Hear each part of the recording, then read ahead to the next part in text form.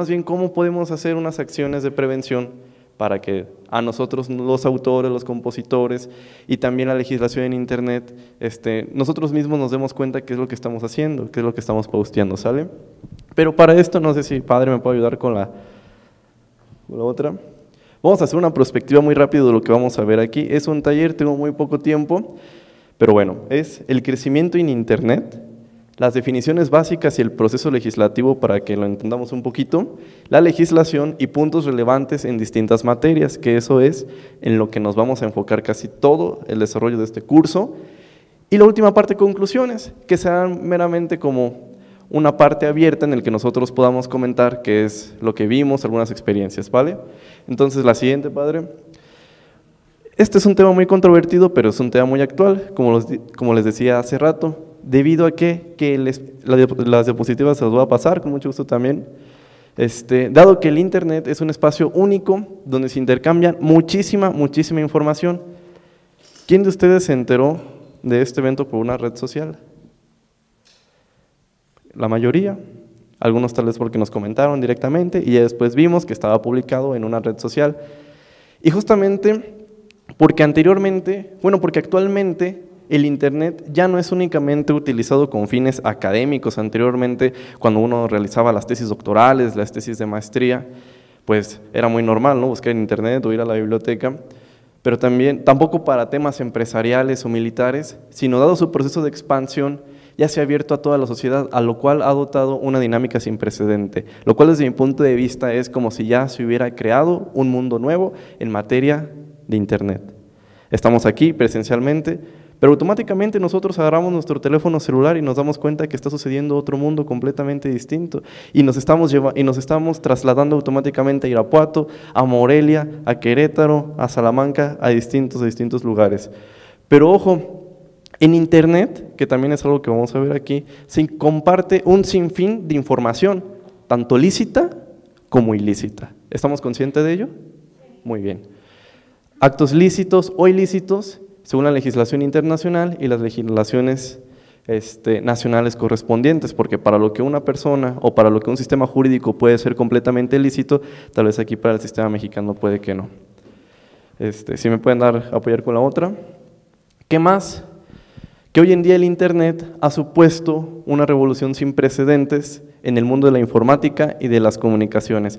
Anteriormente, ¿cómo nos comunicábamos? Pues sí, con teléfono, este, con mensaje de SMS. Yo creo que ya son muy pocas las personas que realmente agarran su celular y escriben un mensaje de texto, y ahorita todo es WhatsApp o Telegram. El telégrafo, el teléfono y radio, ordenador, sí, claro, sentaron bases importantes para las estrategias de comunicación. No sé, podemos suponer cuando estábamos en 1945, en la Segunda Guerra Mundial, tal vez todavía todo era por telégrafo, ¿no? Pero todavía nos podemos remontar a años todavía de la prehistoria y podemos darnos cuenta que había formas de comunicación como las señales de humo, distintas señales, ¿no? O las pinturas rupestres, por ejemplo. Este, y el Internet, así como estos medios de comunicación que anteriormente también estaban y que actualmente también existen, no sé si han ido todavía al Telegram, digo, al no sé si en Celaya hay, ahí, estaba por, bueno, estaba por la deportiva, no sé si en Querétaro hay una oficina como de, telégrafo, creo que se llamaba Telégrafos de México. Al día todavía existe y uno puede ir a hacer ahí sus pagos de la comisión, de, todavía existe. No sé si todavía lo usen como para mandar telégrafos, pues, pero ahí existen todavía. Y el Internet es a la vez una oportunidad de difusión, no solamente local, sino también es una oportunidad de difusión mundial. Y por lo mismo que es una oportunidad de difusión, es una herramienta que nosotros tenemos como comunicadores para fijar, en términos de derecho de autor, fijar, la palabra fijar es poner a disposición un cierto contenido a un cierto sector poblacional. Y aquí en este caso tenemos la oportunidad, pero de hacerlo mundialmente, no solo dejarlo en Morelia, no solo dejarlo en Querétaro, no solo dejarlo en Irapuato, en Celaya, donde seamos, sino también que lo que nosotros hagamos también lo puedan estar viendo en otros lados. Mm, es un mecanismo también de propagación, el Internet, claro, como ya lo hemos visto, y un medio de colaboración e interacción entre los individuos y sus ordenadores independientemente de su localización geográfica. La siguiente, por favor. Pero bueno, les decía, vamos a ver nada más dos conceptos básicos, lo que es la legislación y lo que es el Internet. Seguramente lo han escuchado de alguna manera, la legislación. Y la Cámara de Diputados y la Cámara de Senadores se reunió para discutir la presente iniciativa de ley en materia de seguridad nacional o en materia de comercio exterior. En este caso, la legislación es ese conjunto de normas y leyes que regulan las relaciones entre las personas de un país y un sector determinado.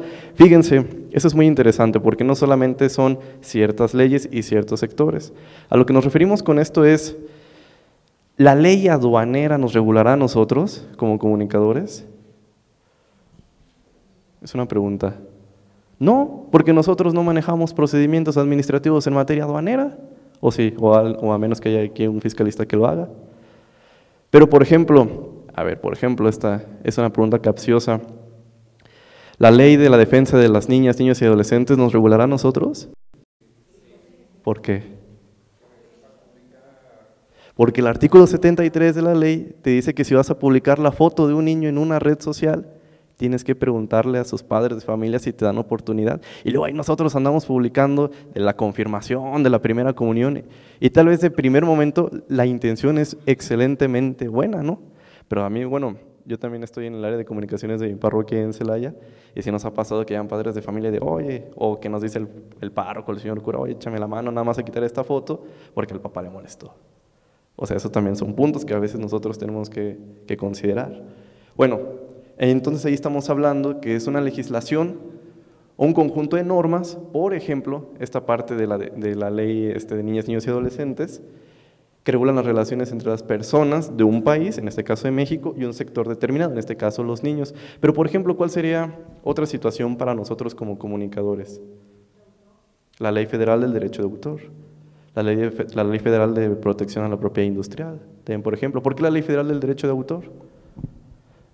Por, por la música, por las imágenes, porque ante todo el derecho de autor tiene dos principios, la regulación del derecho moral y la regulación del derecho patrimonial.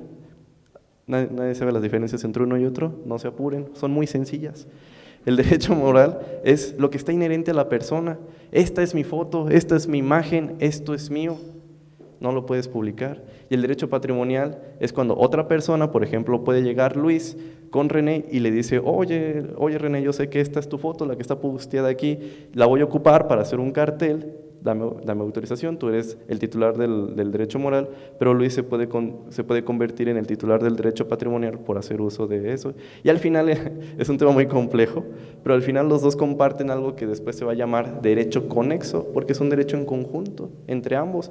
Por ejemplo, no sé, un popurrí o, una canción de... Bueno, ya ven que Joan Sebastián escribía muchísimas canciones y luego escuchamos que las cantaba el Buque, Alejandro Fernández y fulano y sutano. Entonces, por ejemplo, eh, yo creo que lo podemos entender así. Si Alejandro Fernández cantaba una canción de bandida, que creo que así se llamaba, que la escribió Joan Sebastián, siempre nosotros veíamos ahí los videos de Banda Max y aparece abajo, autor Joan Sebastián. Como que se subió un poquito aquí el, el eco. Autor Joan Sebastián, pero intérprete o ejecutante en este caso, Alejandro Fernández. ¿no? Autor y artista no es lo mismo, por ejemplo. Autor es la persona que crea, artista es la persona que ejecuta, pero también pueden ser igual, o sea, el, artista también puede ser el autor. Bueno, eso es la bueno, estamos hablando de legislación y ya estamos hablando de derechos de autor, que lo vamos a ver más adelante también. Pero eso, o sea, las leyes regulan un cierto actuar para ciertas personas y nosotros al estar inmersos en los temas de comunicación, las leyes también nos rigen a nosotros. Y hay unas características de la legislación que son normas vigentes en un ordenamiento jurídico, en este cual ordenamiento jurídico, el mexicano. Intentan, es muy interesante, intentan regular la conducta y el comportamiento de las personas, porque ahí están las leyes, que las cumplamos, es otra cosa, ¿no? Eso quedará en cada quien. La legislación es diferente en cada país. ¿A qué nos referimos con esto? Que no es lo mismo. A mí me pasa mucho. Yo luego en la dirección en la que estoy en Extensión Cultural de aquí en la Universidad de Guanajuato hacemos muchos trámites con muchas disqueras, que de Holanda, que de Estados Unidos, que de Reino Unido. Entonces obviamente sus formatos de contrato son muy distintos a los de nosotros, ¿no? Obviamente tenemos que tener muchas negociaciones con ellos para llegar a acuerdos. ¿Por qué? Porque el sistema mexicano jurídico deviene del derecho romano y el sistema jurídico de Estados Unidos deviene del derecho inglés. Entonces son luego situaciones muy complejas. Establece derechos y obligaciones a los ciudadanos, exactamente, como en el primer punto. Este, ¿Quién realiza la legislación? Se llama legislador.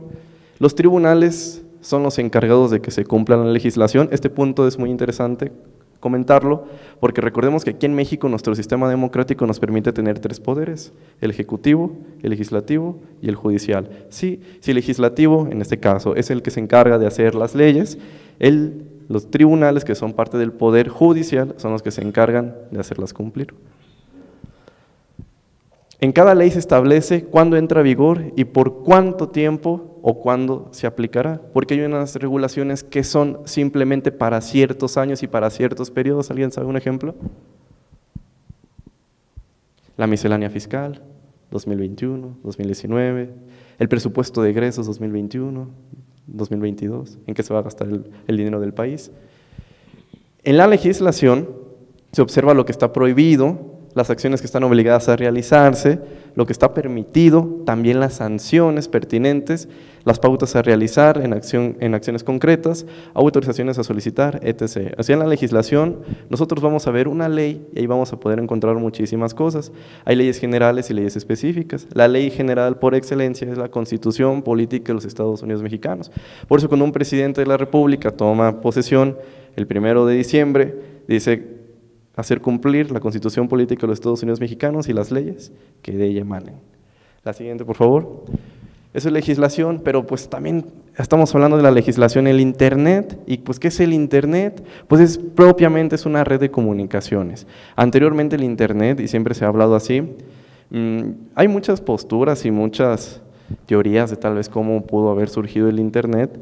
Hay teorías que hablan de que fueron los rusos desde la Segunda Guerra Mundial que empezaron con este, distintas formas de comunicación para atacar a los estadounidenses y también los estadounidenses tampoco se quedan atrás de que ellos lo fundaron. Bueno, hay, hay muchas teorías realmente, pero lo tenemos que entender como esa red de comunicaciones que nos permite estar interconectados entre todos. Al final, ese es el objetivo del Internet, interconectados, estar en una misma situación, pero en distintos lugares.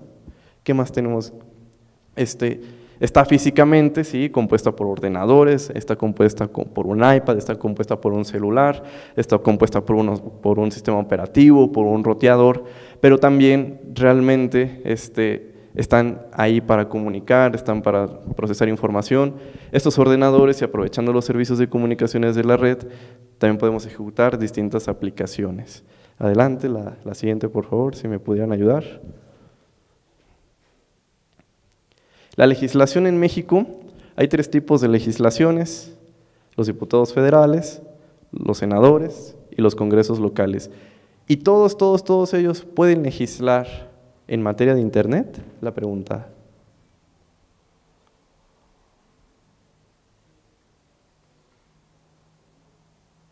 La otra, la otra, la pasada todavía. Pues realmente sí. ¿Por qué? Porque ahorita vamos a ver en la siguiente. Porque lo que se necesita es que en este país democrático un ciudadano, los diputados federales, que es el Congreso por excelencia, es la representación democrática por excelencia, puedan llegar a proponer en materia de legislación de Internet y también los senadores lo pueden hacer y nuestro Congreso local, en este caso aquí puse la foto del Congreso del Estado de Guanajuato, hubiera puesto la de Querétaro, de haber sabido, ¿verdad? Claro que también pueden legislar en materia de Internet en el estado de Querétaro, porque al final Querétaro tiene una constitución, es un estado libre y soberano, entonces también puede regular respecto a su Internet. Ojo, pero no tenemos que contradecir también los principios jerárquicos de la Constitución. La siguiente, por favor. ¿Cómo se crean las leyes? Esto es muy sencillo. Hay un proceso, yo me lo aprendí así, que se llama IDASPI, la iniciación, la iniciativa, discusión, aprobación, sanción, publicación, iniciación y vigencia solamente se ocupa a una Cámara, en este caso puede ser la Cámara de Diputados, la Cámara de Senadores, que tenga una propuesta, que tenga una iniciativa de ley y que se, por ejemplo, en materia hacendaria, que se junte la Comisión de Hacienda para ver cómo vamos a gastar el presupuesto de egresos. Y la Comisión de Hacienda ya lo está preparando y después dicen vamos a someterlo al pleno para discutirlo. Y ahí después ya es cuando lo pasan al pleno y ahí se quedan aventándose las sillas y durmiéndose hasta las 12 de la noche, una de la mañana, dos, tres de la mañana, haciéndose desde mi punto de vista tarugos. Espero esto no se esté transmitiendo en vivo. Porque eso es un partido contra otro y al final los ciudadanos somos los más perjudicados y la, y la discusión nunca acaba y, después vemos en las noticias de así sucede con Pepe Mesa, de que los diputados otra vez no se pusieron de acuerdo y mañana van a retomar. No, o sea, eso es el proceso más largo y después todavía hay procesos de que ya le vieron detalles y que lo regresan otra vez al tema de la iniciativa. Después otra vez ya se vuelven a juntar y dicen, no, pues ya lo aprobamos y ahorita que todos son de Morena y que todos son del PAN y que porque tú eres de y aunque sea una buena iniciativa, yo no te la voy a aprobar porque pues eres del otro partido.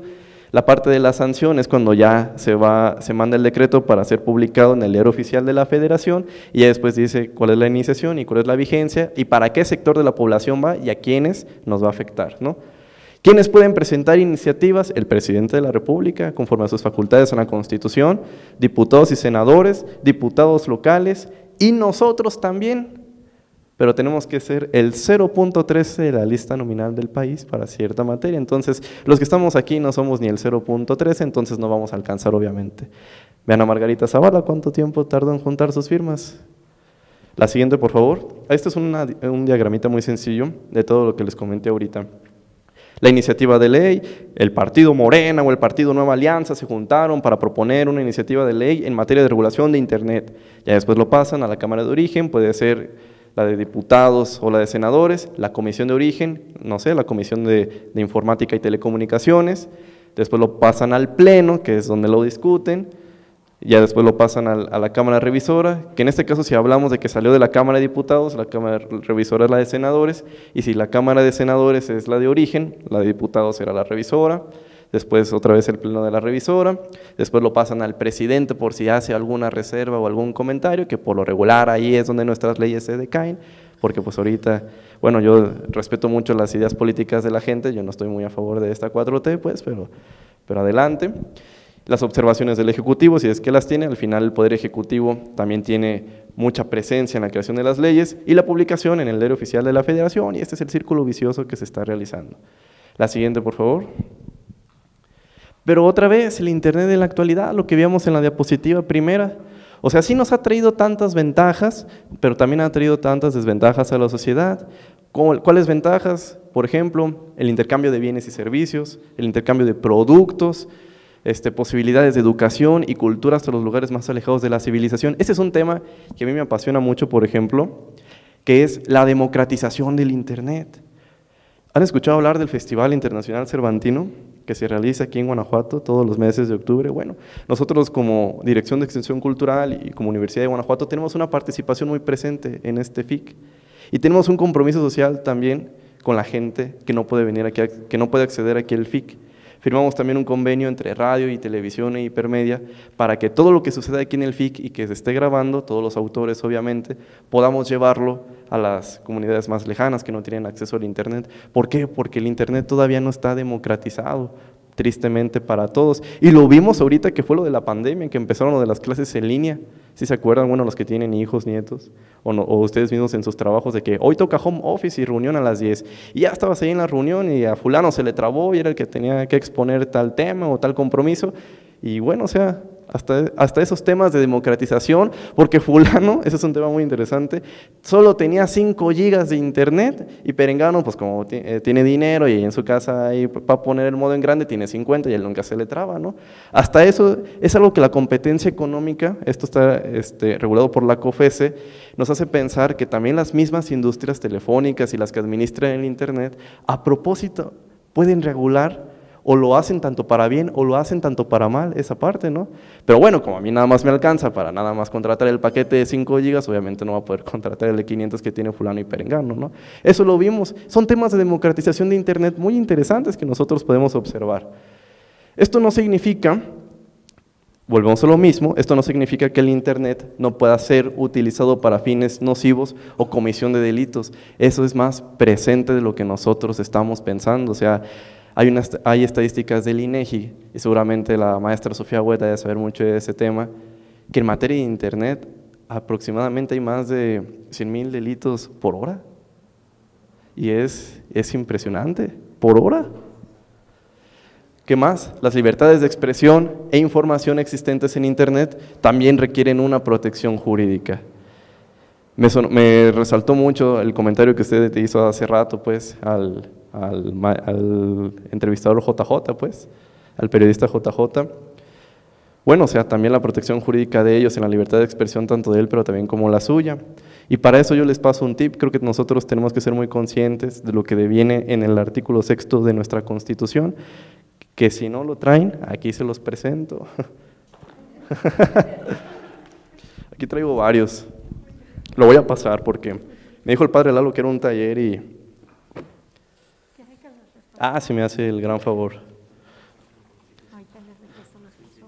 Ese, mira, nada más. Es que traigo más artículos. Se los voy a regalar. Eh.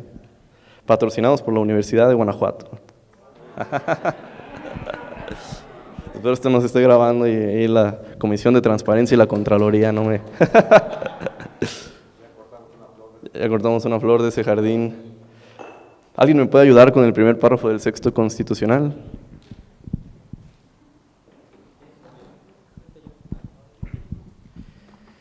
Artículo sexto. La manifestación de las ideas no será objeto de ninguna inquisición judicial o administrativa, sino en el caso de que ataque a la moral, la vida privada o los derechos de terceros, provoque algún delito o perturbe el orden público. El derecho de réplica será ejercido en los términos dispuestos por la ley. El derecho a la información será garantizado por el Estado. Solo vamos a leer los tres primeros. ¿Sí me puede ayudar con el segundo también?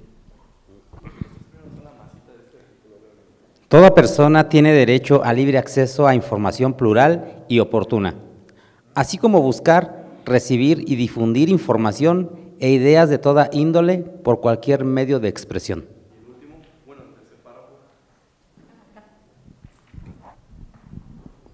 El Estado garantizará el derecho de acceso a las tecnologías de la información y comunicación, así como a los servicios de radiodifusión y telecomunicaciones, incluso el de banda ancha e Internet.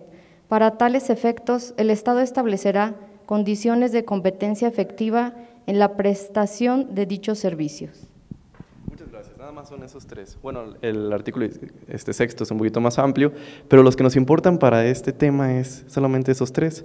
Y darnos cuenta nosotros que como agentes de medios de comunicación, pues claro, el primero nos dice si toda persona tiene derecho a difundir sus ideas, si tiene derecho a la libertad de expresión, pero también te pone un límite, siempre y cuando no estés interrumpiendo el del otro. El segundo párrafo que, también, que nos habla también. El libre acceso.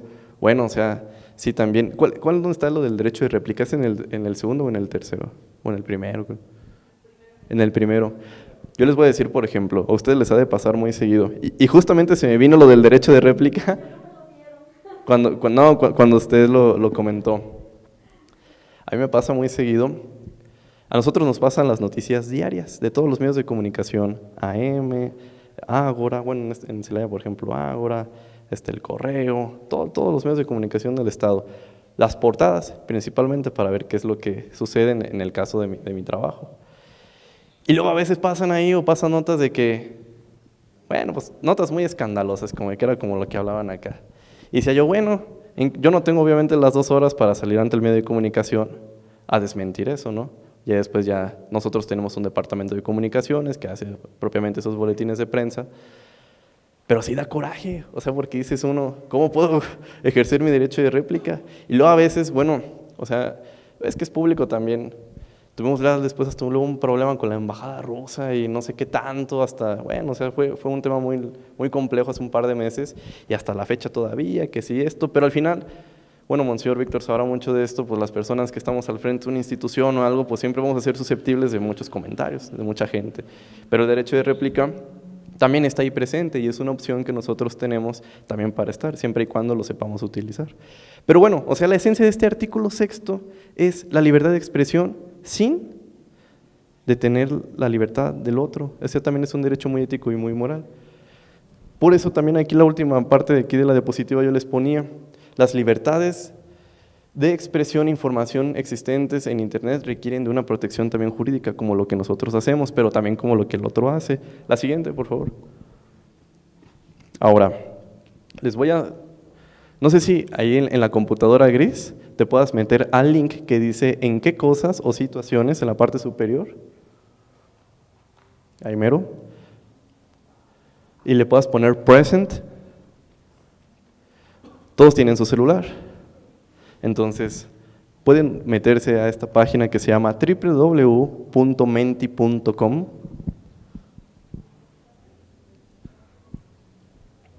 Y vamos a hacer un foro de diálogo abierto. y van a meter automáticamente esa página, les va a poner que pongan un código. Y ese es el código 8415873, el que viene también ahí, no sé si lo alcanzan a ver. ¿No? 84 15 87 3. Y ahí automáticamente les va a aparecer la pregunta, ¿ya la vieron? ¿O todavía no? Los que ya lograron entrar. Y ahí ustedes pueden responder. ¿En qué cosas o situaciones solemos hacer uso de Internet? Las que a ustedes se les venga en mente. Ahí pueden responder y ahí automáticamente espero el sistema y el Internet no me falle. Van a ver sus respuestas y generaremos diálogo. En la compraventa, alguien dijo compraventa, quién sabe quién, pero gracias.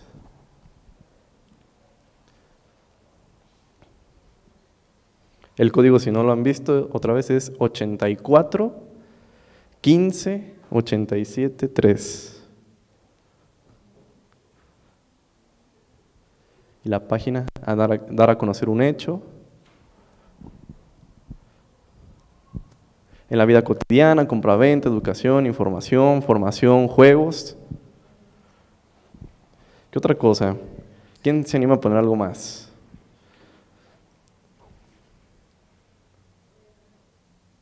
en el entretenimiento.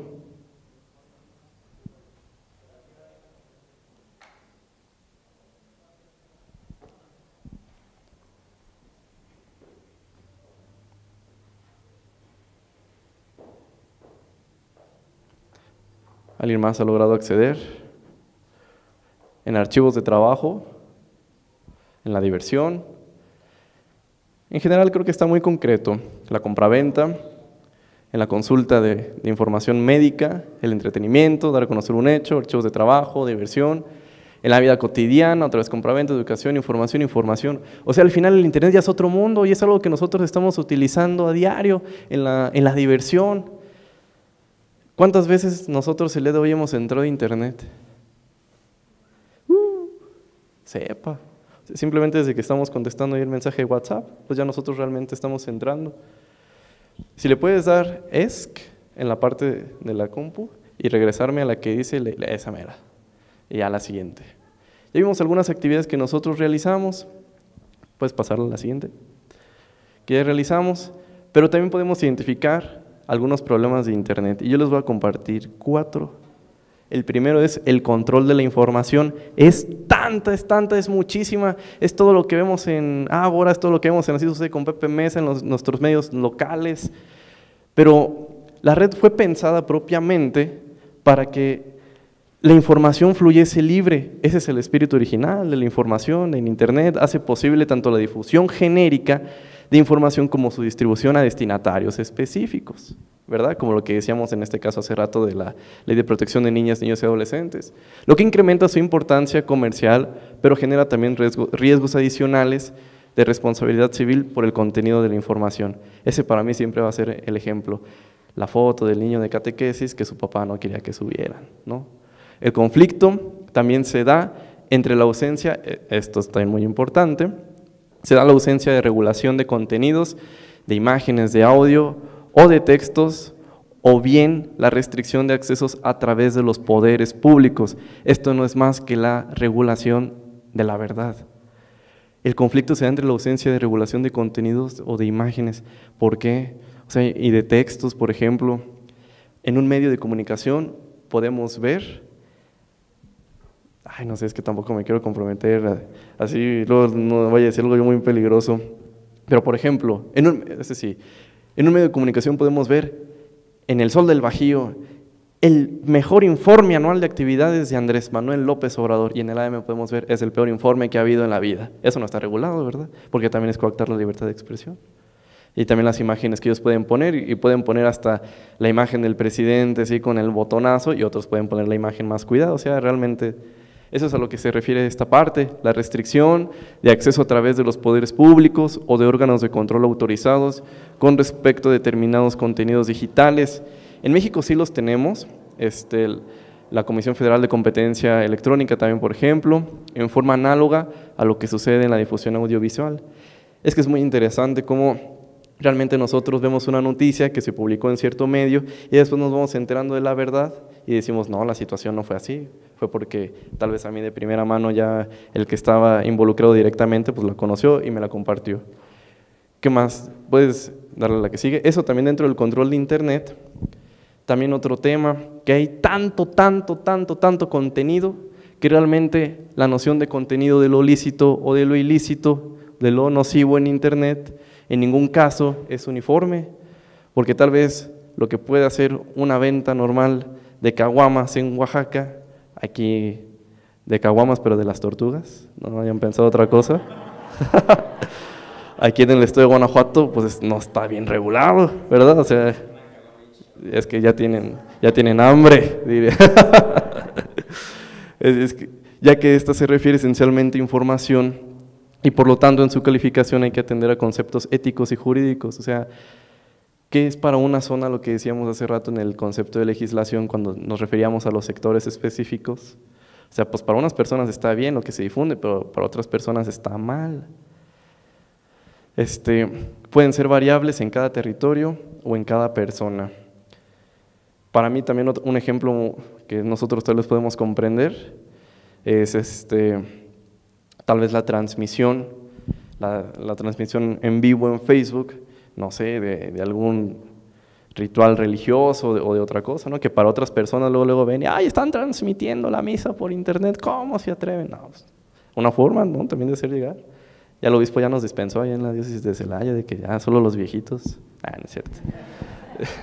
la que sigue, por favor. Otro, otro tema que este para mí es de los más interesantes es el derecho a la intimidad. O sea, ¿por qué tienes mi foto ahí publicada? O sea, ya quítala, por favor.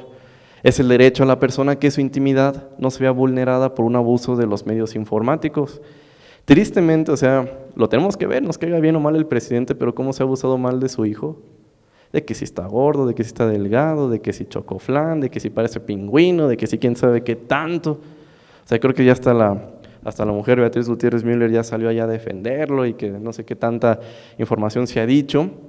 Pero para los efectos de hacer exigible este derecho, también deben desarrollarse mecanismos que permitan su salvaguarda, sea por la vía de la protección brindada por la autoridad, con la consecuente acción para el caso de contravención o mediante políticas de privacidad o programas de autorregulación.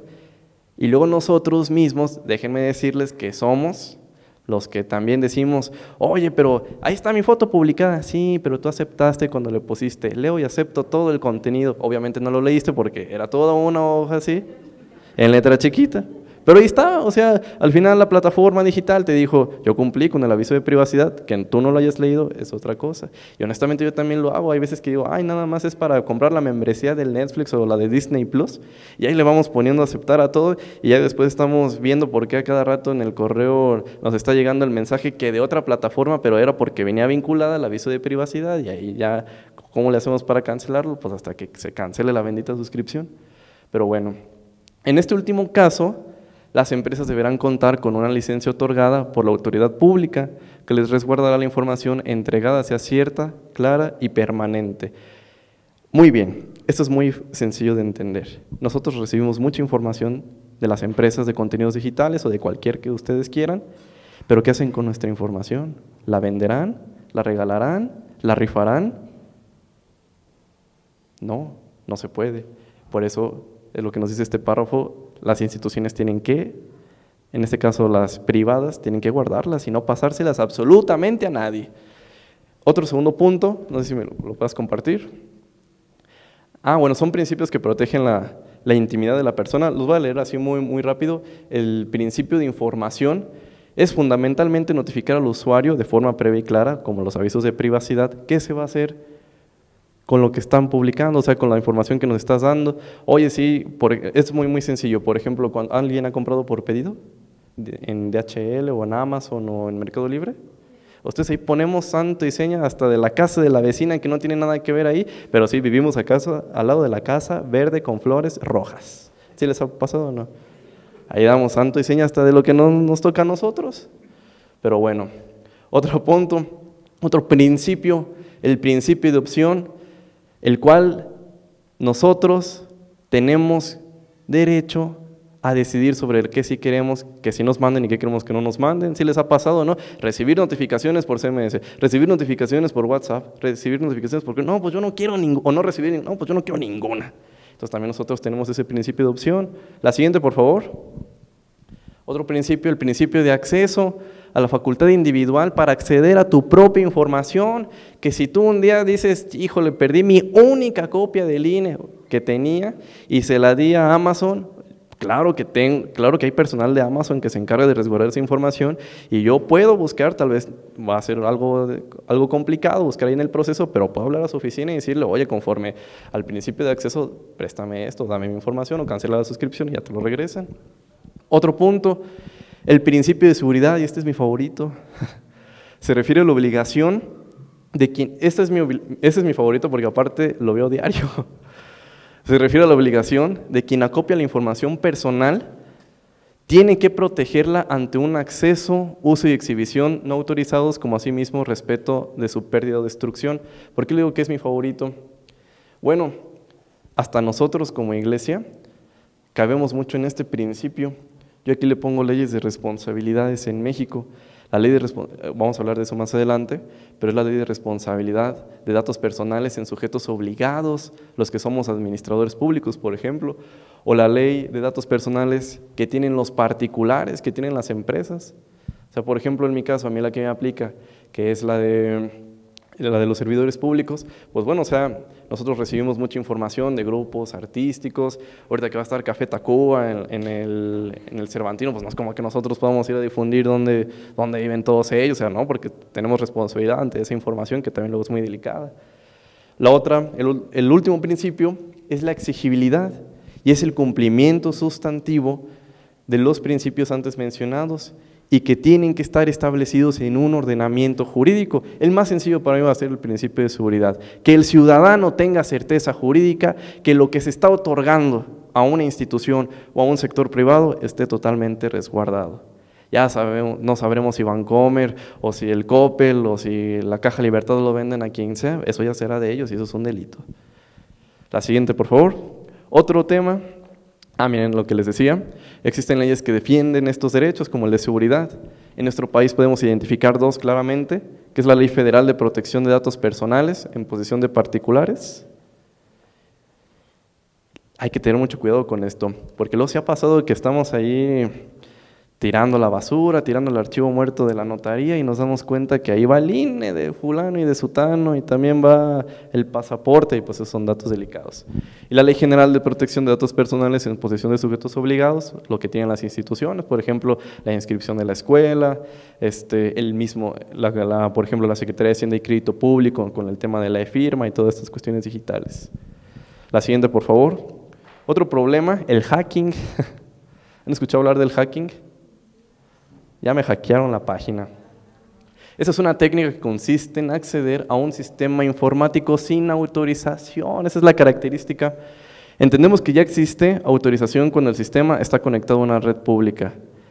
Ojo, y tengan mucho cuidado ustedes, porque puede que se sienten en el jardín municipal de Celaya o de Querétaro, porque todos son de Querétaro, y saquen su celular y vean red de Wi-Fi abierta. ¿Sí les ha pasado? Pues tengan cuidado porque ustedes cuando le ponen conectar a esa red, es que también los que son administradores de esa red puedan entrar a sus, dispositivos móviles o a sus tablets o a sus compus. Y así les robaron la tesis, pues ya ustedes dieron a aceptar. Los hackers, ¿quiénes son los hackers?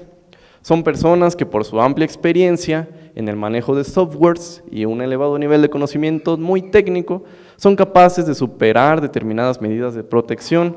Su motivo abarca desde la simple inspección de su propia computadora, robo de información y hasta fraudes millonarios. Esos son los hackers. Y tenemos tres tipos, ¿no puedes pasar la siguiente por favor? Y tenemos tres tipos, la siguiente, tres tipos de hackers, porque hasta en los hackers hay niveles. El, primero es el newbie. Newbie es novato en inglés es aquella persona que se inicia en los conocimientos del hackeo, pero como apenas está aprendiendo, ahí viendo a ver, tratando de hackear la cuenta del obispo Víctor, él mismo se hackeó la suya. O sea, como que no entendió cuál era la dinámica y ahí mismo, como que él en su propia computadora la estropeó, por eso se le llama novato, porque no sabe, si no sabe dirigir su comportamiento, solo logrará descomponer su propia computadora sin causar mayores daños a otras personas. Y la cuenta del obispo Víctor quedó intacta pero la de él quedó perdida y destruida. El hacker, pues era lo que decíamos hace rato, es una persona que tiene eh, conocimientos técnicos muy especializados para hacer daño ya en una plataforma, este, una computadora, en una red, en un internet, pues se ha pasado, ¿no? De que nosotros nos conectamos luego, luego a la red de internet de ahí de, la Plaza Allende, no sé, ahí en, en San Miguel de Allende, y está abierta y ahí automáticamente, no sé, la persona entra a nuestra, a nuestra computadora, a nuestra información y ya, aparte de que nos robó porque era de libre acceso, si nosotros tenemos cuentas cerradas, se las puede también lograr. Este, tiene la capacidad de acceder ilegalmente, esa es la diferencia, ilegalmente a sistemas de cómputo y su comportamiento puede ser ético o perverso. ¿Saben por qué ético o perverso o no? ¿A qué creen que se refiera? pues realmente no es ético, pero sí es muy perverso. Y el, y el más, el más, el más, es el cracker. Si han escuchado que decimos, esta es una persona, es un crack. Pues ya venimos de dónde viene. El cracker, a diferencia del hacker, el cracker violenta una computadora, una red, servidores de internet para robar su información, configuración o contraseñas. Creo que a Vancomer le pasó recientemente. Y a Banorte también se descayó la línea y desaparecieron varias cuentas, varios pesos de varias cuentas. Y Vancomer lo único que dijo fue, les voy a regalar, creo que les voy a invitar un café o algo en Starbucks y vayan a, canjearlo, pero no les voy a regresar, su dinero. No, pues obviamente se los tienen que regresar, ¿no? Y ojalá los departamentos legales puedan hacer algo, no los de Vancomer, sino los de las personas afectadas. Imagínense cuántas empresas no salieron ahí mal. Pero es la persona, pues es la crack, la crack de cracks en, en hackear una información. Les interesa, aparte, son bien cuidadosos, les interesa que nadie se dé cuenta de su actividad, por lo que borra toda información y todo registro para que se pueda delatar y la policía cibernética no lo encuentre. Pero eso seguramente la maestra Sofía Wett lo, también lo estará hablando por allá. La siguiente, también los delitos sexuales. O sea, tampoco lo podemos dejar de lado. O sea, lo de la intimidad, los hackers y los delitos sexuales que vemos a cada rato en Internet. Todo el tema de pornografía, obviamente que es una industria, una cadena productiva que involucra a personas que lucran con ella. Ese es el fin, lucrar, que trabajan directamente en ella y consumidores que pagan por ella y obtienen a cambio una gratificación sexual. Y otra cosa, la de menores, que es la pedofilia, es la presencia de fantasías o conductas que implican la actividad sexual entre un adulto y un niño. Las conductas de pedofilia van del simple exhibicionismo hasta la penetración, en el caso de la parte sexual. No sé si le puedes poner a la que dice CPEG. En el caso del Estado de Guanajuato, esto sí está regulado. En el artículo 187F es un delito que se llama captación de menores. Y nos dice que por medio de comunicaciones electrónicas, ah, muchas gracias por ese zoom, a quien por medio de comunicaciones electrónicas, telecomunicaciones o cualquier otra tecnología de transmisión de datos establezca comunicaciones de contenido sexual o erótico y procure encuentro personal con una persona menor de edad de 18 años o incapaz, se le impondrá de 3 meses a 2 años de prisión y de 5 a 20 días de multa. Qué poquita la pena, la verdad. Si el sujeto activo hace uso de una identidad falsa, las penas se incrementarán a la mitad del mínimo, a la mitad del máximo de, las aquí señaladas, pero aún así siguen siendo muy poquitas, tristemente. Ya podemos regresar a la presentación, por favor. Casi dos años, y...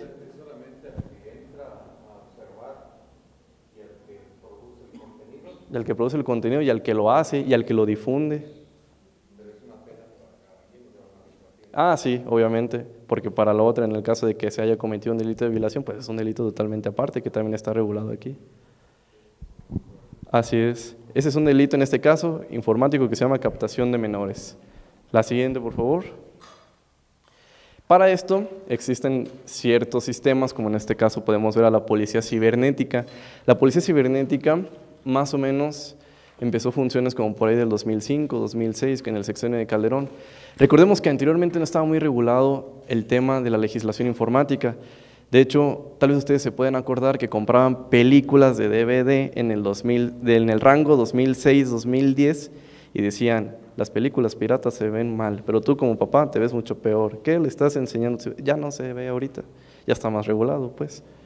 Pero anteriormente, ¿por qué? Porque la policía cibernética en ese tiempo empezaba a crear acciones en contra de la piratería, en contra de los delitos sexuales, en contra de los fraudes financieros. Entonces empezaban a ejercer facultades para investigar, facultades de investigación, ejerciendo atribuciones legales y garantizar la presencia de la autoridad en las cuestiones de la información. Aquí le llamamos la supercarretera. Este, y aquí yo la puse ya la Secretaría de Seguridad, de y Prevención Ciudadana, que es la que maneja esta Rosa Heréndira Sandoval, si no mal recuerdo. Este, mediante el área de prevención son los que van desarrollando. Propiamente la policía cibernética no tiene facultades para llegar a tu casa y decirte, soy la policía cibernética y estás detenida. No, pero sí tienen ciertos compromisos que podemos ver en la siguiente lámina. Como identificación y desarticulación, en este caso, de organizaciones dedicadas al robo, al robo, leonocinio, tráfico y corrupción de menores, así como la elaboración y distribución y promoción de pornografía infantil por cualquier medio.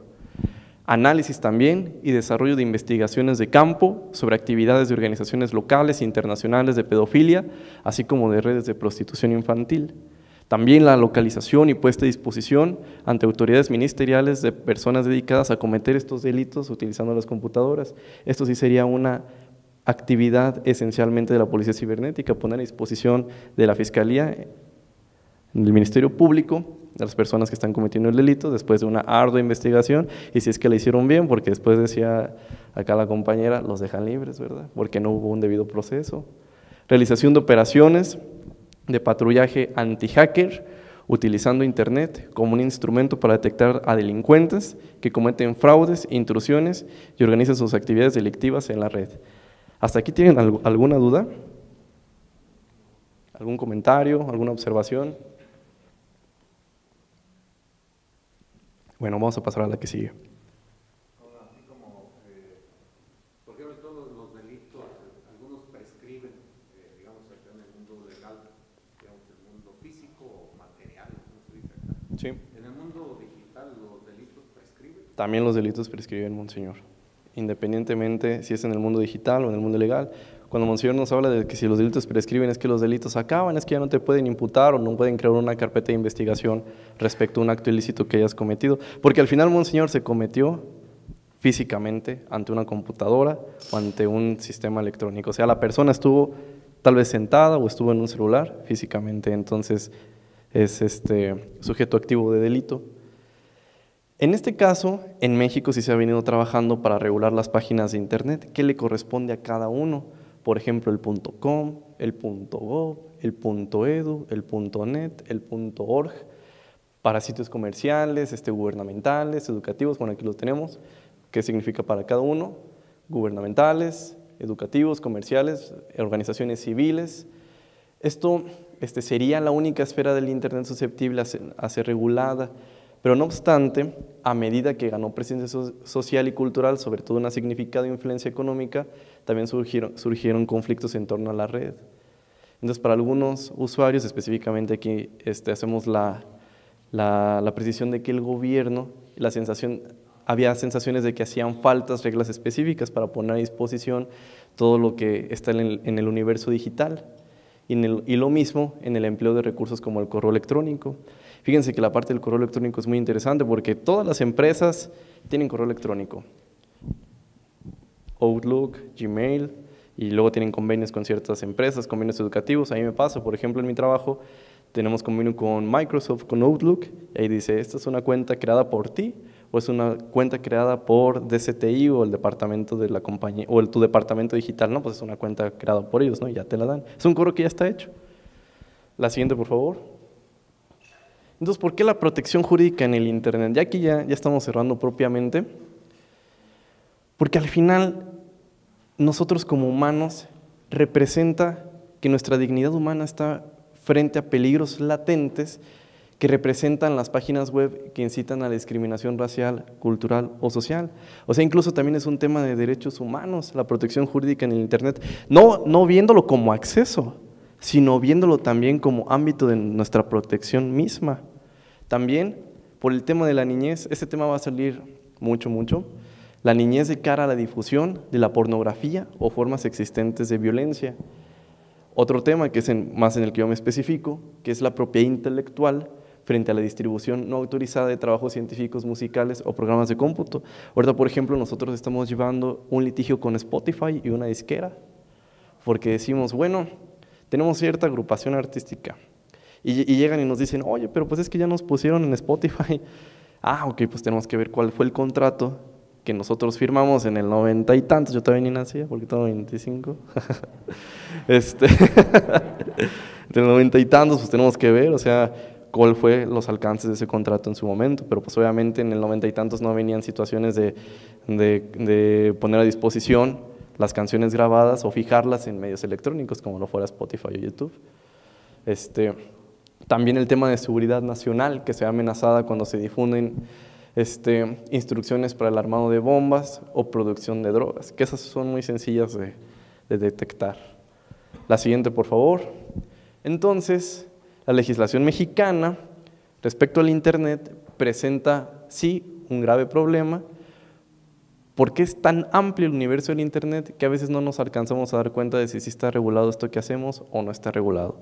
Simplemente aquí en ese taller pues vamos creando conciencia de lo que sí se puede y de lo que no se va pudiendo con posibilidades obviamente de ser regulada propiamente. Hay grandes áreas de oportunidad, este, debe ser necesariamente definida antes de, todo debe de ser necesariamente definido antes de que se visualice en las leyes. Es decir, nada puede ser objeto de legislación si no se tiene un concepto claro del objeto. Si yo quiero hablar sobre un cierto tema, y no está regulado, pues tal vez va a estar permitido en su momento, pero obviamente va a llegar alguien que se va a incomodar o va a llegar una situación por la cual tal vez una persona esté abusando de eso, se va a tener que legislar. En el caso del Internet, realmente es muy interesante porque no está definido en ninguna ley. O sea, no podemos meternos a... No hay una ley de Internet propiamente, pero sí hay un código penal que te establece que si en, que si en sistemas informáticos se, ven estas ciertas cosas, pero si hay una ley federal de televisión y, radio, y radiodifusión que te establece que si transmites imágenes de niños, uno lo va interpretando, ¿no? Pero ahí está, pero no hay propiamente una ley que diga ni la constitución de constituciones que diga la regulación de Internet se va a hacer así.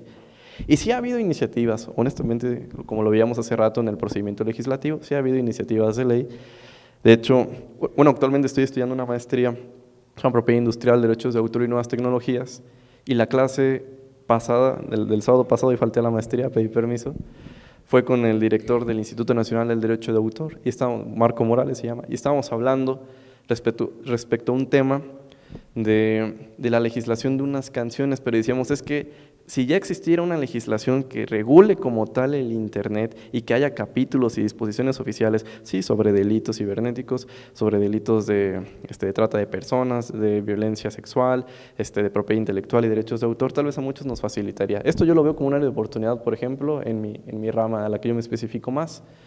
Se dice que el Internet ingresa en los términos genéricos de medio electrónico e informática, pero Internet no está comprendido en esta categoría. No podemos asegurar por completo que el Internet tenga un cuerpo jurídico que lo regule, porque como veíamos al inicio, ha sido un crecimiento tan interesante desde los últimos años que no olvidas que nos alcancen, o tal vez sí en algún futuro, pero tal vez las nuestras no, pero para regular el Internet propiamente. Y no lo va a ver ahorita. Pero lo que sí podemos hacer es que desde las leyes que actualmente tenemos, ir fijándose con estas palabras este, de medio electrónico, medio genérico, propiamente irnos adecuando e ir cambiando nuestro chip al sistema. Porque aparte, déjenme decirles que ahorita con lo de la pandemia, y ahorita que poníamos el ejemplo de lo de las clases virtuales y las reuniones con home office, la justicia, la impartición de la justicia estaba totalmente negada a hacer una videotransferencia o hacer una audiencia virtual. ¿Y qué creen? Pues que lo tuvieron que hacer. Pero realmente hablamos otra vez del tema de democratización de Internet. A mí me pasó mucho. Tenemos un caso en materia este, familiar de un divorcio de aquí un señor de aquí de Guanajuato, que bueno, o sea, pues ya no estaban en la misma casa, obviamente la pareja. La señora sí tenía buen acceso a internet, pero el señor es de una comunidad de allá hacia Dolores Hidalgo que se llama Santa Rosa de Lima. Bueno, ahí vivían y realmente ahí no había acceso, entonces en la audiencia cada rato se trababa y como que la juez se desesperó y dijo, a ver, este, pues vamos a hacer una cita especial para que vaya, la, vaya el actuario o la actuaria ahí a, escuchar su testimonio y que ratifique acá. Pero pues realmente nosotros decíamos luego acá en, la carrera del foro de, ay, no creo que, que los jueces se vayan a acostumbrar. A, la fecha de hoy hay muchos jueces que prefieren mejor las audiencias virtuales, aunque tienen muchos inconvenientes como este, que las que las presenciales, porque aparte si ustedes van a los juzgados es un chorro nada de gente y luego más en materia familiar que dices, oye, pues si mi audiencia era a las 10 y ya es la 1.20, no, pues no vamos a alcanzar. Y yo todavía tengo una audiencia en San Luis de La Paz al rato, pues no voy a llegar. Entonces ya muchos sí prefieren eso. Y aparte fue muy interesante porque si estábamos luego en las audiencias y por ejemplo en materia familiar siempre tiene que haber gente de, este, de la Procuraduría de la Defensa de las Niñas, Niños y Adolescentes, por cuando hay menores. Entonces a veces ellos tienen un chorro normal de trabajo y siempre veíamos luego a la actuaria de esa procuraduría ahí tomando la audiencia en el coche, o luego a veces en el mismo juzgado había abogados que estaban en la audiencia con el juez, pero el abogado estaba allá afuera sentado en el mismo juzgado porque luego, luego en cinco minutos tenía otra. Ya, pero ya adentro, ¿no? Entonces esas son como facilidades que legalmente sí le vimos, pero bueno, al final ni está regulado propiamente y el Poder Judicial en este caso tuvo que sacar acuerdos, en, el caso de Guanajuato, no sé en Querétaro, pero tuvo que sacar acuerdos del Pleno, del Consejo de la Judicatura, para que las audiencias se pudieran llevar a cabo. Y los, bueno, como no está regulado, obviamente también hubo muchos amparos que dijeron, ah, eso ni está regulado, pero son amparos y de gente, de los abogados, pues también bien mañosos. Este, la siguiente, por favor. ¿Y en qué leyes así tal cualmente podemos ver estas expresiones? Sí en el Código Civil Federal, en la cuestión de contratos, en el Código de Comercio, también en la cuestión de contratos de comercio electrónico, muy simple, cuando haces un pago en PayPal o cuando haces una compra del Primera Plus en el Internet. En el Código Federal de Procedimientos Civiles, porque y en, y en todos los códigos de procedimientos civiles de todos los estados, porque hay un capítulo de admisiones de prueba y también las pruebas electrónicas son admisibles. El Código Fiscal de la Federación, ¿también por qué? Porque existe un buzón tributario y porque hay embargos, hay embargos realizados mediante el buzón tributario. Hay veces que la gente piensa que va a llegar el, el, actuario del, del, SAT y ahí es cuando te va a embargar, pero no, hay veces que hay embargo tributario y es cuando te bloquean las famosas cuentas. El Código Penal Federal, el tema este, de las cámaras, el tema de las conversaciones, de la intercepción de llamadas, la ley de propiedad industrial, este, la Ley Federal de Protección al Consumidor, la Ley Federal del Derecho de Autor, esa es mi favorita porque es cuando silencian y mutean en Facebook, la Ley Federal de Telecomunicaciones, la Ley del INEGI y las leyes de protección de datos personales. Esas las que veíamos hace rato. La que sigue también, por favor, ya estamos acabando. Protección de datos, bueno, ya lo había dicho hace ratito, pero nada más es un acercamiento al 16 constitucional, que también aquí lo traigo impreso y que se los quiero regalar. En un segundo nada más. Aquí está. Si me puede ayudar otra vez a repartirlos. ah, bueno, a los que no les tocó hay que darles del 16 constitucional. Es el artículo 16 constitucional es el que más pelea a toda la gente, pero es el que del que más se pueden hacer más interpretaciones. Un tiempo estuve, bueno, estuve apoyando un despacho en materia fiscal y administrativa entonces el artículo 16 constitucional siempre era, era el de ley, era el de siempre, pero también el 16 constitucional en materia penal es el de siempre y también en materia de protección de datos es el de siempre, porque hay un artículo, bueno, hay un párrafo, si no mal recuerdo es el tercero, que dice, ah, no, perdón, es el segundo. Toda persona, no sé si alguien lo puede lo pueda leer. Ah. De una vez. ¿El segundo párrafo?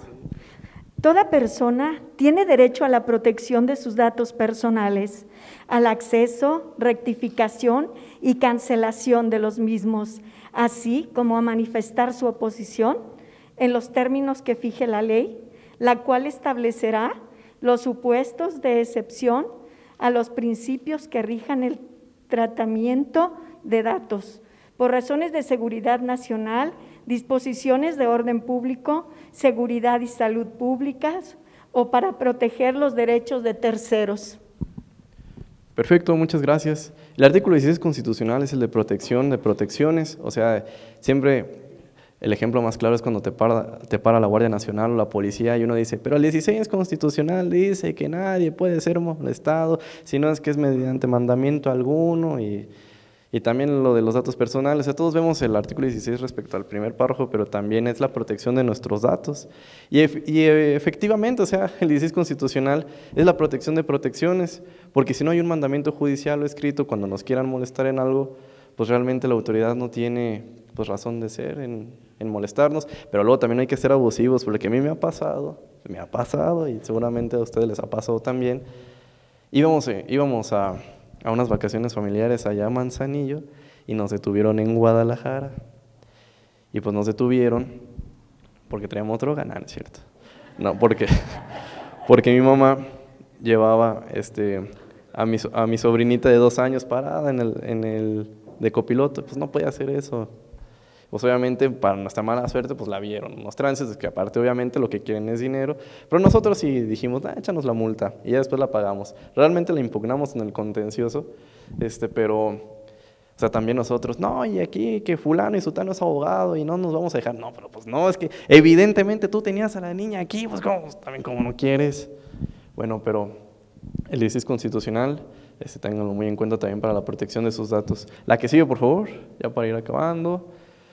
Este, en todo esto, la coalición por los derechos y principios de Internet, a todo lo que ya hemos referido, ya estamos cerrando, considera que el derecho a la privacidad incluye la existencia de un marco normativo también completo para proteger los datos personales y privacidad de los ciudadanos, a excepción, también lo dice el segundo párrafo del 16 constitucional, cuando se trate de materia de seguridad nacional, ¿verdad? Obviamente si estamos en una misión de la Agencia de Investigación Criminal y estamos atrapando o tratando de atrapar al capo más grande del Estado, pues obviamente hay cuestiones que se pueden, ¿no? porque es materia de seguridad nacional. También tenemos que tomar en cuenta que hay estándares internacionales que en materia de derechos humanos y protección de los consumidores nos hacen aplicar políticas y configuraciones o ajustes de privacidad aplicables a los servicios, estándares de confidencialidad e integridad aplicables a sistemas tecnológicos de información, protección a la identidad virtual, derecho al anonimato, uso del cifrado, libertad frente a la vigilancia electrónica y libertad frente a la difamación, acordándonos del 16 constitucional y de lo del segundo, la excepción de materia de seguridad nacional. Y la última, bueno, ya de las últimas, no, la, que sigue, ya esto ya lo hablamos. Compromisos y sociales democráticos, ya con esto vamos a cerrar, que nos faltan hacer como ciudadanos, que también ya lo vimos que podemos proponer leyes, que podemos hacer en el ámbito legal e informático. El primero, y el impacto más importante, que es que aún no está definida la naturaleza jurídica de Internet. Lo tenemos que regular. Es más, pocas universidades se atreven a hablar de las regulaciones propiamente de Internet. En ese caso, la, parte de la maestría que yo llevo es en la Panamericana y nada más son dos universidades las que la hablan, que es la Panamericana y la, y la Nahua, que son privadas y son como más, este, por así decirlo, más cristianas con ese orden. Hasta el momento también que no hay un instrumento jurídico internacional, o sea, sí hay muchas regulaciones internacionales, pues, pero no hay un instrumento jurídico que contenga disposiciones fundamentales a la regulación del Internet. También otro punto es que hasta el momento se ha dejado toda la autorregulación, lo cual implica dejar en manos de actores privados, en general de poderosas empresas, tomar decisiones que afecten a consumidores y usuarios. Lo que decíamos, tú tienes 5 gigas y fulano tiene 10 gigas, ¿por qué no lo podemos democratizar? O sea, también podemos hacer acciones emergentes. Cuando ya leímos que en el artículo sexto el Estado es el encargado también de propiciar esos servicios informáticos. También existen la existencia de limitantes en la jurisdicción en cuanto a lo que se va a entender por lícito o ilícito.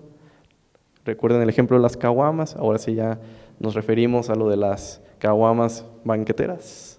Por ejemplo, las que se pueden vender a las 10 de la noche en tales zonas, en tales estados, y aquí en Guanajuato, pues es no. Las violaciones que se dan al derecho del anonimato, muy relacionado con lo decíamos al, al derecho de réplica. La siguiente, por favor.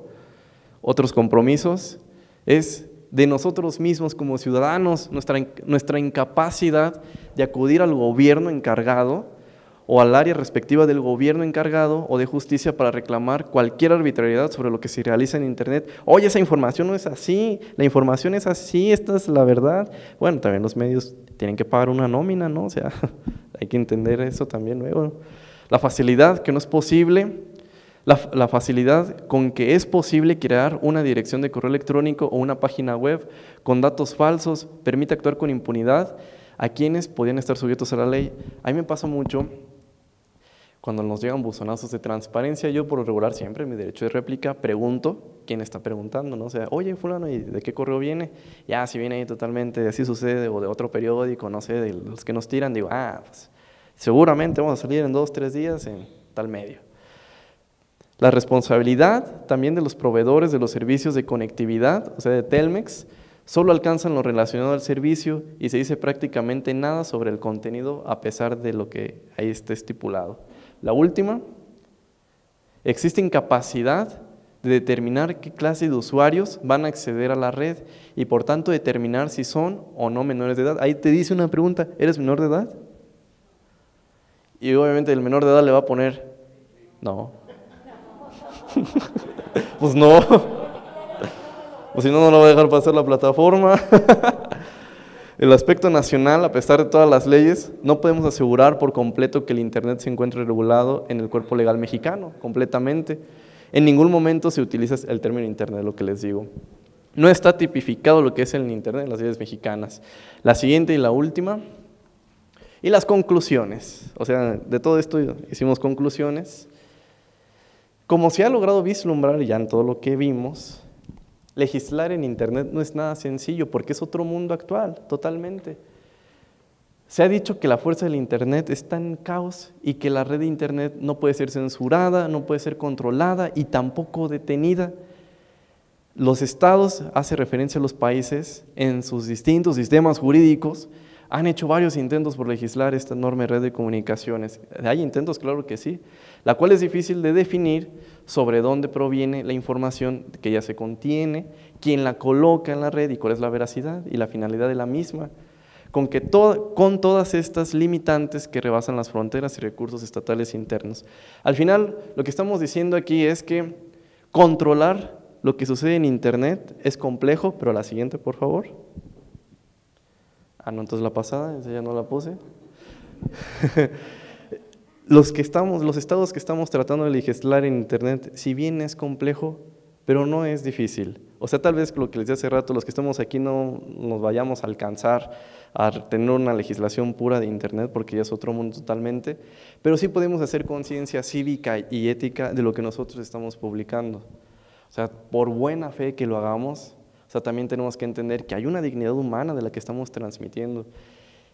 Alguien dijo hace rato, los que estábamos luego al frente de los servicios de comunicaciones en materia de, de parroquias, de dioses o así, tal vez no somos los expertos en comunicación, tal vez no lo somos, pero tenemos muy buena fe en hacerlo.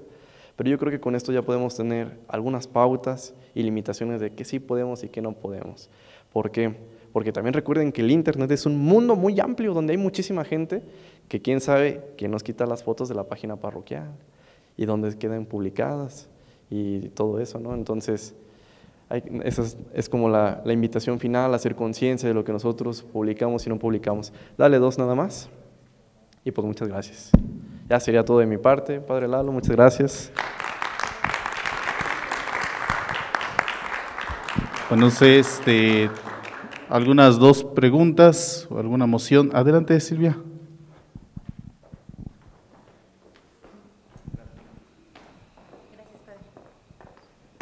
Primero que nada, muchas gracias. Eh, yo nada más quiero hacer un planteamiento. Nosotros como generadores de contenido, eh, pues nos sentimos desprotegidos. Las páginas de Internet tenemos la opción de registrarlas en el INDAUTOR y bueno, pues se supone que estamos protegidas. De pronto nos encontramos contenido nuestro en tasajeado, ¿no? Porque así es la cultura de ahora, ¿no? Le quito el logo, le pongo, le acomodo y se supone que ya es algo original. Mi duda es, ya veo que no está tan regulado, ¿verdad? Y que es un poco difícil, pero en cuestiones de, indautor, si yo registro una página, el contenido que está en esa página queda protegido? Esa es la primera. Y la segunda, eh, ¿cómo hago o a dónde acudo? ¿Cuál es el procedimiento más fácil para que alguien me ayude si sigo teniendo este problema? Gracias.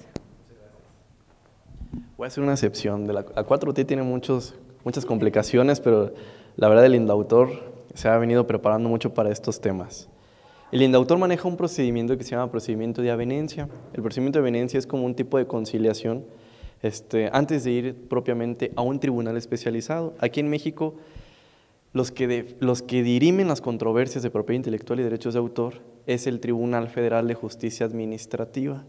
Aquí en Celaya tenemos uno, la Sala Regional del Centro 3. Este, en, bueno, aquí en la zona, en la región Bajío, que es Querétaro, Guanajuato y también un poquito Aguascalientes, están cuatro salas del tribunal. La de Querétaro, que es la, no, la de Aguascalientes, que es la una, la de Querétaro, que es la dos, la de Celaya, que es la tres, y la reciente que se creó en el 2021, la de Silao, que es la cuatro. Estas salas tienen la oportunidad de, dirimir estos conflictos, pero también de mandarlos a un, demandar, o sea, no de demandarlos de ejercer una demanda, sino demandar el asunto a una sala especializada en materia de propiedad intelectual y derechos de autor. Pero antes de llegar a eso, el indautor le dice al autor, en protección de tus derechos, yo como autoridad en materia de regulación del derecho de autor y de los autores y del cuidado de sus protecciones, ya me, tú ya me avisaste de que el padre Lalo te compió toda la tesis, pues tenemos que hacer, iniciar ese procedimiento que le llaman procedimiento de avenencia. Entonces el indautor empieza a ser ahí como, como, como un tipo, empieza a ser como un tipo juzgador. Eso es importante entenderlo. En materia administrativa, este, las distintas dependencias de gobierno, principalmente el indautor, el INPI y el SAT, son a veces juez y parte. Por ejemplo, en el SAT, antes de irnos a los tribunales también de justicia administrativa, el SAT también, conforme al Código Fiscal de la Federación, el 116 y 131, juegan como juez cuando se emiten los recursos de revisión y de revocación. Obviamente el SAT siempre va a ganar ahí, ¿verdad? Por eso nos vamos a los tribunales. En este caso, en el indautor, este, en el procedimiento de evidencia, que es como una mediación y conciliación, se puede llegar a la determinación de es mi obra, ojo, ojo, ojo. El indautor solamente, dependiendo de la obra, le va a dar cierto tiempo de reserva del derecho al uso exclusivo. Por ejemplo, en este caso, en México, es de cinco años. Entonces cada cinco años tienen que estarlo renovando. Y pues tampoco pierden, ¿verdad? Claro. Gracias. Muchas gracias. Pablo, sí, adelante.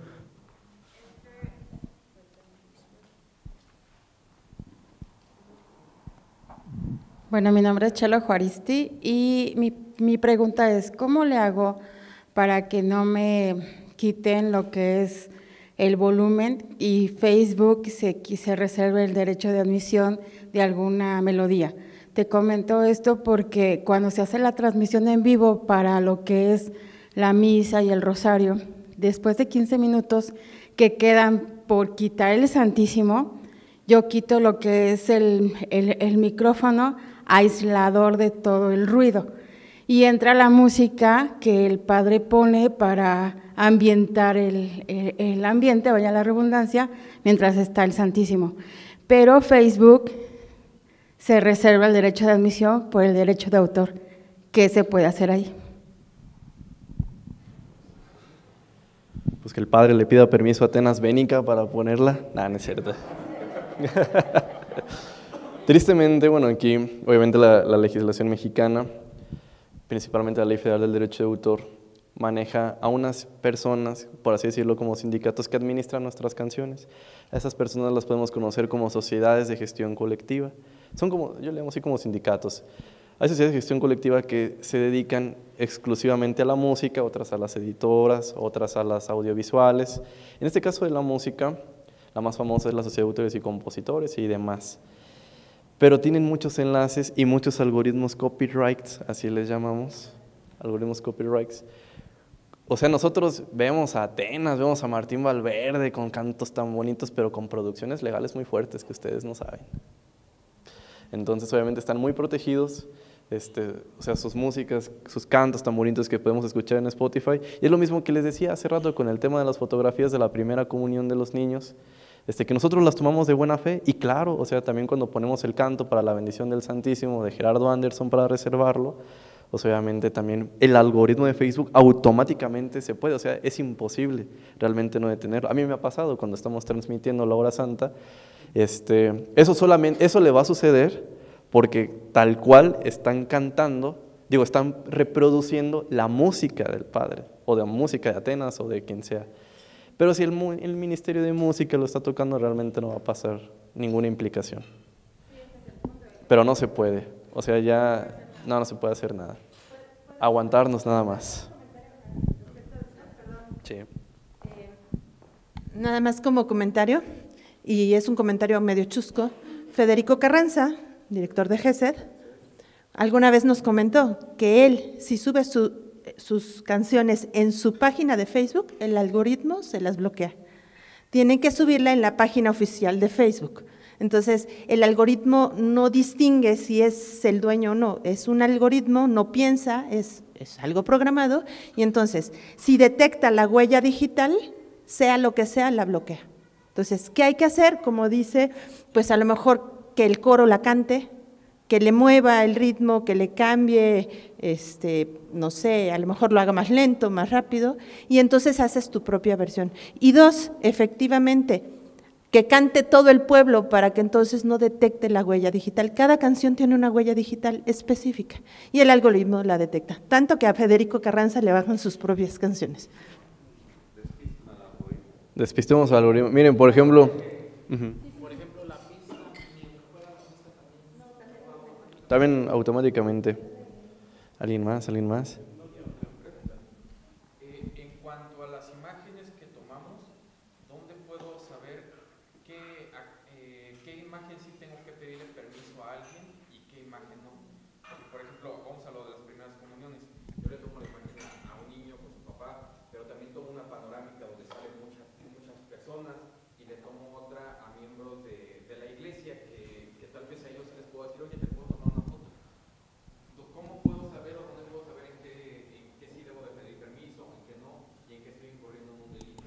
Es una cuestión muy, es muy sencillo, pero es muy ético. O sea, es tan sencillo que lo podemos explicar desde ahí. O sea, nosotros cuando tomamos las fotos de la primera comunión, de la confirmación a los niños, lo hacemos con toda la intención buena, claro, siempre de publicarla. En ese caso también cuando nosotros tomamos la panorámica de la Jornada Mundial ahí de la Juventud, ¿se acuerda Padre Lalo ahí con todos los... Pues cómo vamos a preguntarle a chorrocientas personas si sí quieren aparecer o no quieren aparecer, ¿no? O sea, al final, aquí tenemos que estar dispuestos a compartir dos derechos. Bueno, uno principal, el que es el derecho moral de la persona, o sea, uno mismo, yo salgo ahí, yo estoy ahí, pero sé que salgo ahí para una buena causa, o sea, tampoco sé que estoy ahí siendo, que, me tomaron la foto para después ahí ponerme en la publicidad de, de Aguafiel, ¿no? De Peñafiel, no sé, obviamente, ¿no? Y los niños blancos, ahí no, obviamente no. siempre va a ser muy, un contenido muy ético, siempre va a haber un, en el tema del derecho de autor una constante, vaya, por decirlo así, una batalla entre lo ético, de yo si lo hice de buena gana o no. Porque hay sus excepciones también en el ámbito del derecho de autor. Por ejemplo, los fines con los que se puede utilizar. Este, en el caso de las, de las cuestiones académicas, este, no sé si estoy viendo la tesis de alguien o el video de alguien, pero, o es el video de alguien pero lo difundo con fines académicos, es una excepción en el derecho de autor. O siempre va a ser la, la bonita intención con que lo hagamos. Muy bien, pues agradezco a licenciado Pablo, si igual tienen algún litigio en cuanto a esto. Recuerdo que bueno, él es, especialista en la materia también, ¿verdad?